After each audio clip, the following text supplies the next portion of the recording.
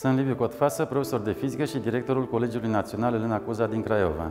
În cei aproape 30 de ani de experiență la catedră, nu m-am mai întâlnit cu o asemenea situație în care să ne îndepărtăm fizic de elevi.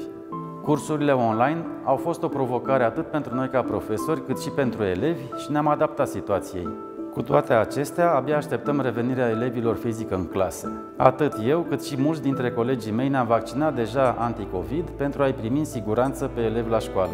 Vaccinarea este șansa noastră de a învinge pandemia.